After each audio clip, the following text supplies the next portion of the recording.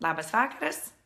Um, šiandien mes kalbame apie Kalėdų senelį ir visus kitus reikalus su juo susijusius.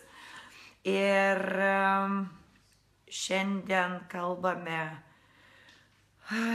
ne 12 valandą, tai tikiuosi galėjote prisijaukti, nes aš esu namuose, nes truputį esu apsirgusi. Bet um, tikiuosi, kad kaip visada tai truks labai trumpai ir labai greitai pasveiksiu. Taigi, um, bet prieš pradedant apie tai kalbėti, turim vieną dainą.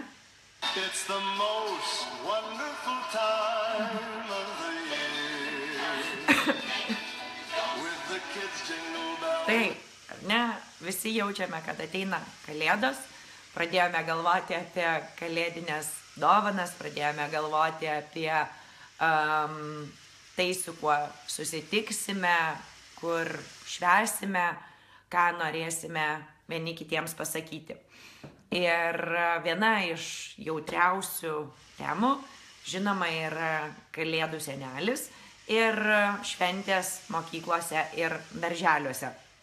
Ir maždaug nuo lapkričio vidurio aš pradedu gauti labai daug klausimų apie tai, ar daryti darželį, ar nedaryti, ar normalu, kad berniukams ir mergaitėms skirtingos dovanos, ar tikrai reikia tų dovanų, ar reikia dovanų auklėtojoms ir taip toliau ir panašiai. Tai um, šiandien apie tai ir pasikalbėsime.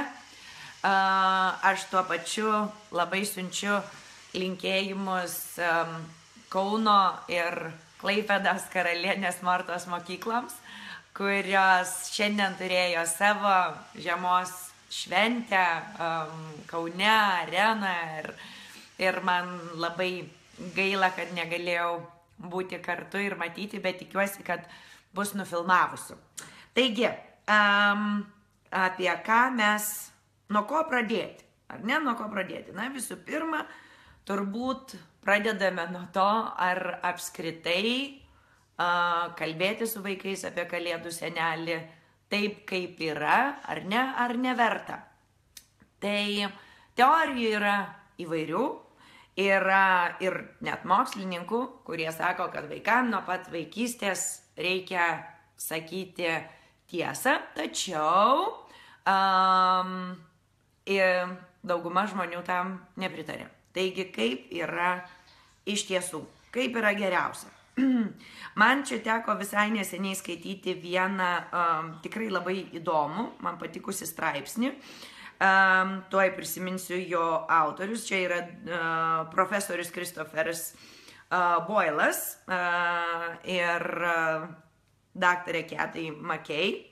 Ir apskritai apie juos šneka kaip kalėdų sugadintojus. Ir dėl ko apie juos taip kalba? Dėl to, kad jie um, nekal, nekalba apie tai, kad, na, kalėdų senelio turėtų nebūti ir mes neturėtume apie tai išnekėti, bet jie kalba apie tai, kad vis dėlto suaugę turi būti labai sąmoningi ir turi būti atsakingi, kai jie nusprendžia pasakyti vaikams, kaip yra iš tiesų, dėl to, kad tai nėra um, pokalbis apie tai, ar, ar kalėdų senelis yra ar nėra.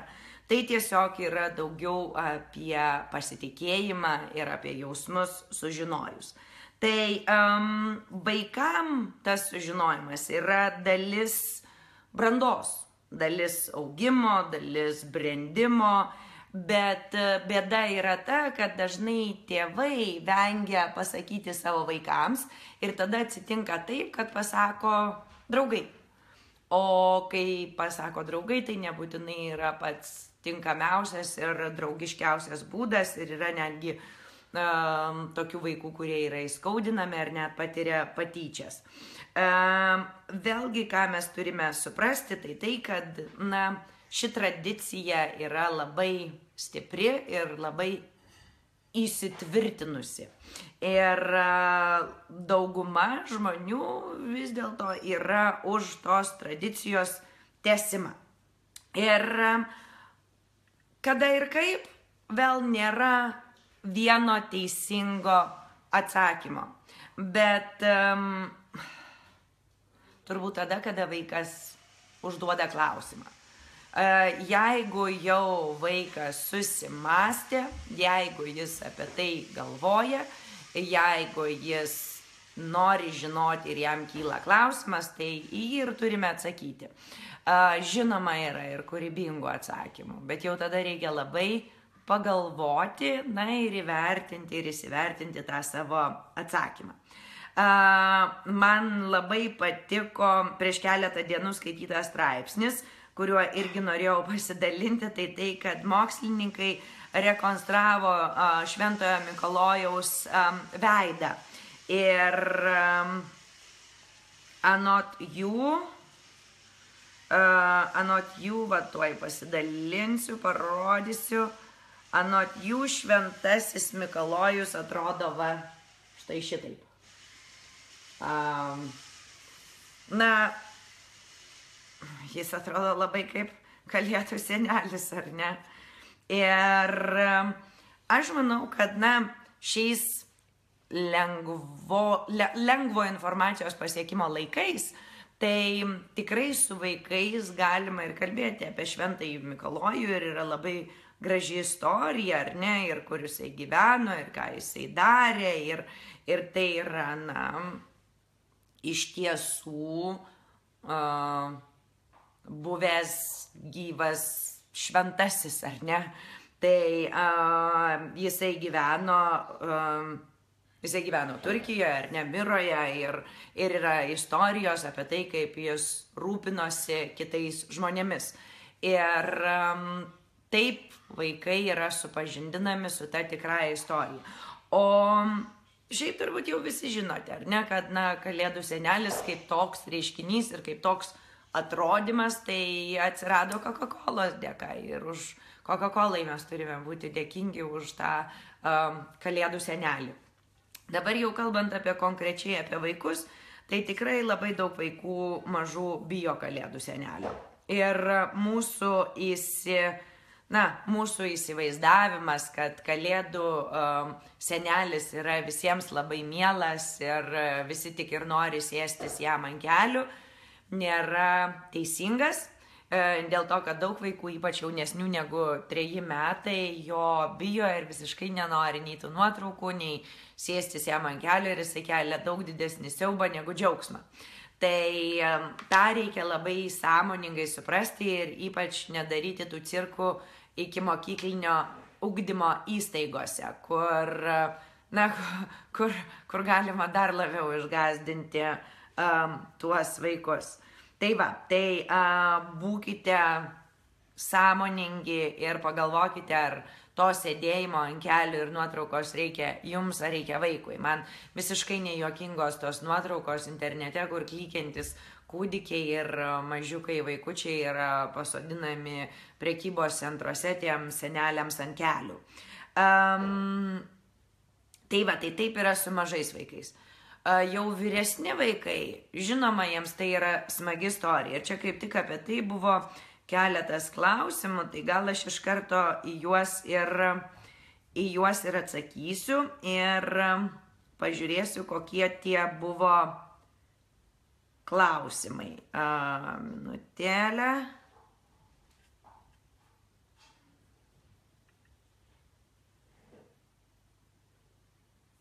Taip, va, klausimas buvo.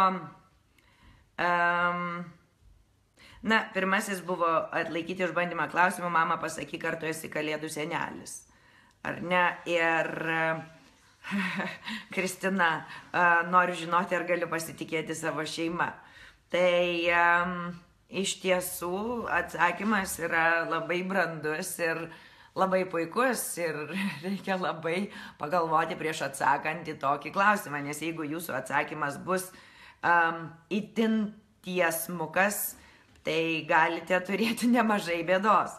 Um, dėl to reikėtų tam pokalbiui turbūt pasiruošti ir pažiūrėti jį rimtai ir ypatingai um, nelaukti, kol vaikas tą uh, sužinos iš draugų. Tai aš labai tikiuosi, kad jūs a, pasiruošėte tą pokalbį ir jau jį turėjote, ar ne, kur, kur galite papasakoti. Vėlgi, um, kartais yra rekomenduojamas toks pereinamasis laikotarpis, kuriuo, kurio metu vaikui yra uh, pasakoma, kad, na, um, jeigu tiki, tai ir yra, ar ne, nes tikėjimas yra labai sunkiai apčiuopiamas dalykas ir tai yra kalėdinė pasaka, kuria yra labai smagu tikėti, nes jis sukuria tam tikrą nuotaiką. Ir aš esu kalėdų senelis.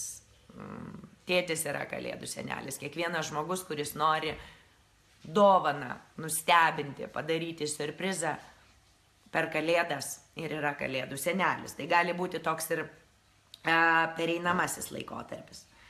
Um, vėlgi, um, kitas klausimas buvo, va, čia kur ir kalbėjau apie vaikus, kurie bijo, ar ne, aš bijau kalėdų senelio, nenoriu, kad jis ateitų, nenoriu iš jo dovanų.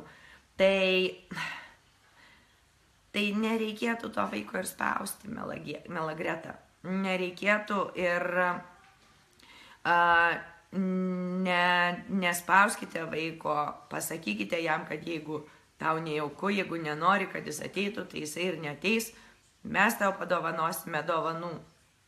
Ir, ir tai yra, na, normalu. Va, Jėva kaip tik jums antrina, kad, na, jį paniškai bijojo kalėdų senio. Tikrai mes, mes pervertiname, mes įsivaizduojame, kad labai mažai vaikų jo bijo. O iš tiesų m, tikrai daug vaikų bijo to kalėdų senelio ir jisai nėra toks stebuklas, koks gali, koks gali atrodyti. Um, Silvija klausė, gal turite kokių idėjų, kaip paaiškinti dviejų su pusę metų vaikui, kad tie kalėdų seneliai, kurie pasirodo įvairių, įvairiose glučių įžiebimo šventėse ar priekybcentriuose, iš tiesų yra ne tie, kurie neša dovanas. Um, tai uh, vėlgi, na, galite labai paprastai vaikui pasakyti, kad vieni kalėdų seneliai yra aktoriai Ar ne? Dėl to, kad kalėdų seneliai yra, kalėdų, jeigu jūs, na, tikite tą istoriją ir pasakojate kalėdų senelių istoriją, tai jūs puikiai galite pasakyti, kad kalėdų senelis yra vienas ir jisai yra, nežinau, na, sunku jį pamatyti ir sunku apčiuopti dėl to, kad jisai yra, e, jisai yra mūsų širdyje ar mūsų galvoje ir rūpinasi mumis, bet Bet e, jeigu um, ja, mes jį norime matyti, mes su juo norime bendrauti, dėl to yra žmonės, kurie vaidina kalėdų senelius, vaidina nikštukus ir, ir jie suteikia daug džiaugsmo ir, na, sustiprina tą kalėdų dvasę. Ir su kiekvienu vaiku pagal jo amžiaus tarpsnių ypatumus tikrai galima apie tai kalbėti, kad, na, um, jeigu tiek daug būtų kalėdų senelių, tai kalėdos taip lengvai ir gerai neveiktų. Tai a, vėlgi jūs labai gražiai ir pasakote, kad ar ne, a, kad norėtų, kad suprasti, kad kalėdų senelis, kur atneša dovanas namuose, yra nematomas ir ateina tik vieną naktį per metus. Dviejų su pusę metų vaikui tai gali būti per, per, na, per daug abstrakti informacija. Um, dėl to vėlgi grįžtant prie tų mokslininkų, kurie sako, kad iš karto reikia sakyti taip, kaip yra, na, kad iš karto uh, sakytume, kad jie yra aktoriai ir visa kita, o kalėdų dovanas mes dovanojame vieni kitiems ir tik vadiname tai kalėdų senelių dovanomis. Um, čia reikia įsivertinti. Aš manau, kad kiekviena šeima yra unikali ir aš nedrįstu uh, teikti, kad jūs privalote daryti taip ir tik tai taip ir tik tai taip yra teisinga. Evos labai gražus yra paaiškinimas savo sūnui, ar ne, savo, kad tie kalėdų seneliai, kurie būna mieste arba jie atkeliauja tam, kad susipažintų su vaikais ir jų norų išklausytų. Tai va, tai, na, kiekvienas mes galime turėti savo um, gražią pasaką, savo gražią istoriją apie, apie tai. Kaip vertinate Lietuvos darželių tradiciją, kad auklėtojų dovanoms renkamos tokios pat ar net didesnės sumos nei vaikų domanėlėms, klausė Reda. Visų pirma, aš manau, kad vaikai dovanų darželėje neturėtų gauti. Va čia aš tikrai turiu poziciją. Jeigu, jeigu dėl kalėdų senelio aš daugiau kalbu apie tai, na, kaip gali turėti viena ar kita šeima ir kokios pozicijos ir iš kur tai išeiti, bet šeima gali apsispręsti, tai apie kalėdų, e, kalėdų tradicijas darželiuose aš turiu labai griežtą nuomonę. Aš manau, kad tikrai visiškai nereikia ten vaikams dovanų, dėl to, kad tos dovanos dažnai yra išspaustos, dažnai jos yra numetamos ir nereikalingos. Jau geriau tada tie pinigai būtų paukoti, nežinau, Maltos ordinui ar maisto bankui, ten prasmingiau nueitų. Bet to, kas man nepaprastai, ne, nepaprastai nepatinka, tikrai, kad dažnai tos dovanos būna įtin stereotipinės ir dažnai mergaitėms dovanojamos kokios ten rožinės knygos apie princesės, o berniukams ten kokios mėlynos apie mašinas. Ir, ir na, tikrai e, tai skatina ir stereotipinį mąstymą, ir, e, ir na, įgalina stereotipinį ugdymą e, mūsų jau iki mokyklinio ugdymo įstaigose ir man tai yra labai neprimtina. Aš manau, kad kai mes kalbame apie kalėdas, apie adventą, apie apie žiemos šventes mes turime kalbėti vis dėlto ir pasakoti vaikams tikrąją istoriją, kodėl mes pradėjome švęsti kalėdas, kad tai yra, um, kad tai yra mm, Jėzaus gimimo diena, kad uh, mes ją švenčiame, perskaityti Biblijos istoriją, apie tai su vaikais pakalbėti, dėl to, kad tai yra būtent dėl to mes pradėjome, ar ne tą švęsti. Na, prieš tai buvo irgi šventės, bet, bet um, um, akcentus sudėlioti, kokie jau yra mūsų toje europietiškoje kultūroje ir kodėl mes visą tai švenčiame. Ir kad tai yra mūsų džiaugsmas ir yra mūsų dovana. Ir tarkime, mes vaikystės sodė, tai visada su vaikai išnekame, kad uh, mūsų koncertas yra mūsų dovana tėvams. Dėl to, kad mes dar nedirbame, mes dar negalime kažko pirkti.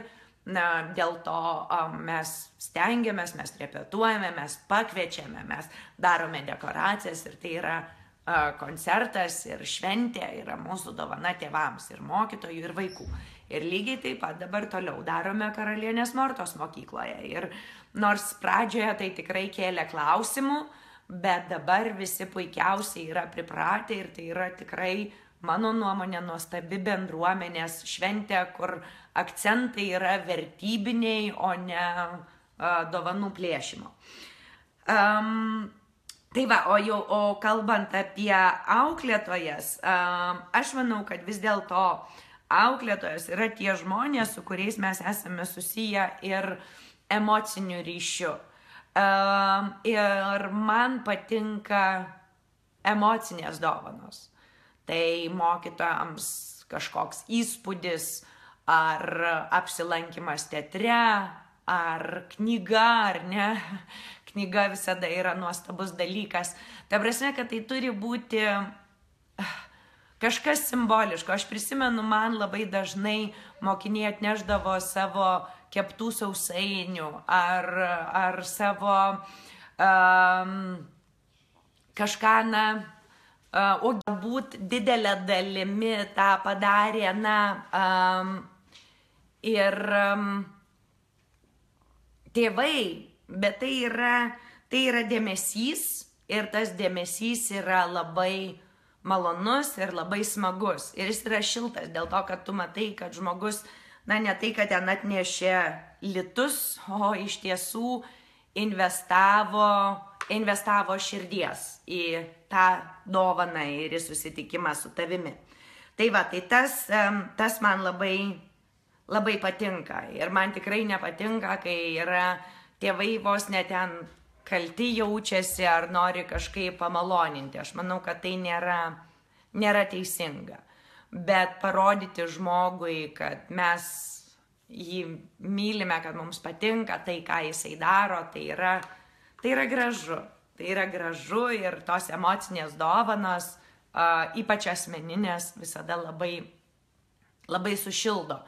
Ir um, aš pati stengiuosi, kai yra kalėdos, tai prisiminti ir kažkokius partnerius, ir kažkokius uh, na, verslo partnerius, ar ne, ir, ir, ir gydytojus, ar šiaip žmonės, su kuriais daugiau bendrauju ar bendradarbiauju, nes tai yra malonu. Tu parodai, kad mūsų ryšys nėra tik tai darbinis, kad tai yra ir kažkas daugiau, kas vėlgi yra gražu.